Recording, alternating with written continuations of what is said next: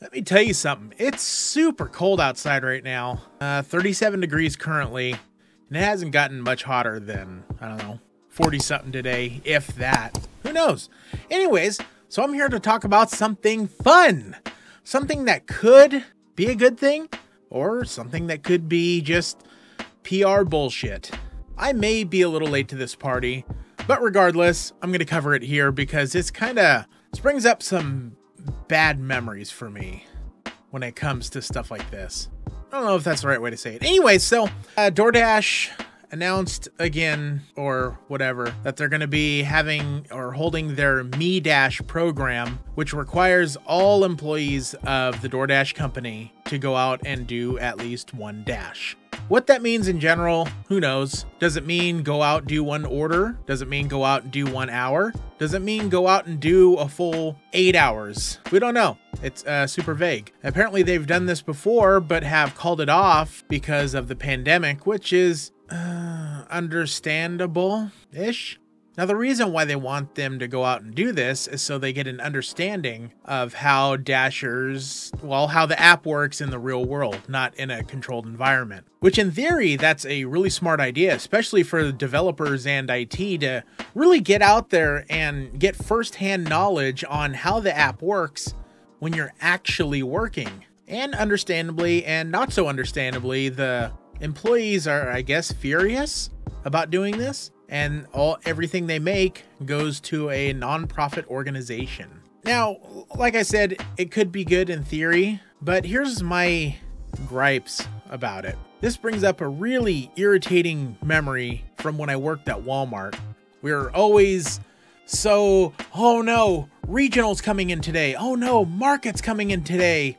Oh no, there's somebody from home office that's going to walk through.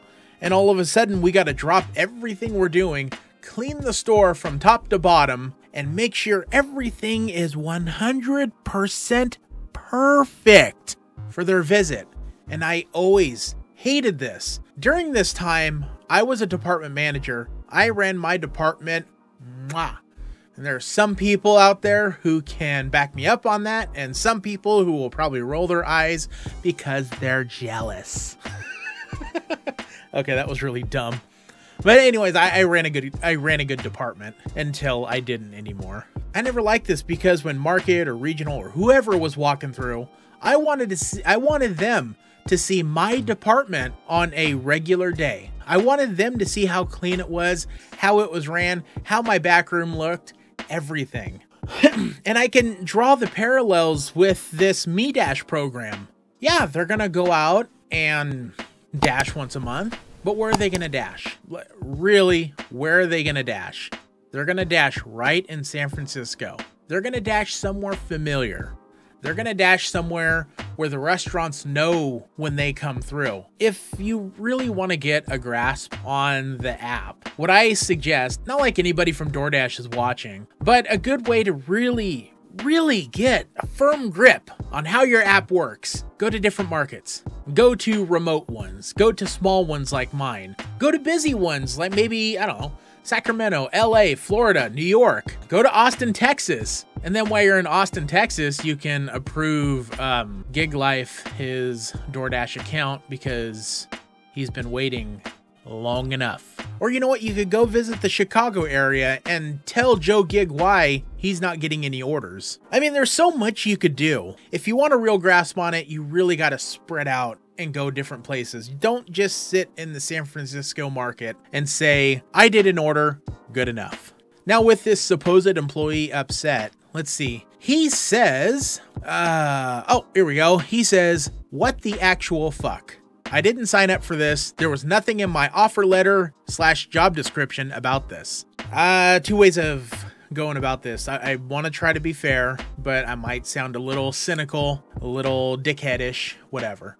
Um, on one hand, he's absolutely right. Where does it say in his job offer or job description, whatever you want to call it? Or maybe it does. Maybe he's overlooking it. I don't know. But it is not his job to do this. However, on the flip side, if you are working with this app, you really need to have a grasp on how it works in the real world because there is no, no, No way! You're gonna fix everything if you don't even know how your app works with real people in real situations, with real money, with real restaurants, not in a controlled environment on a virtual machine. I don't know how they test everything, but I'm assuming it's something similar. And not only that, but you are an employee and you should probably do what your what your bosses say. So that's, you know, that's kind of the two heads of the same coin. Take that with as much salt as you would like. Is that the correct metaphor or term? I don't know.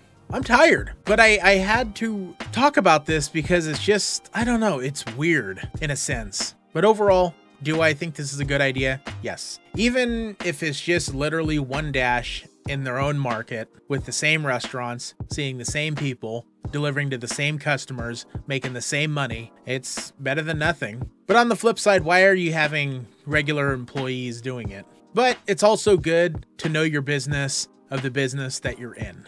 So I would like to hear what you have to say. What do you think about all this? I'll uh, I'll post the uh, you know that thing, the news article in the description below. You can take a read for yourself if you haven't done so already, and then you can sound off in the comments. Okay?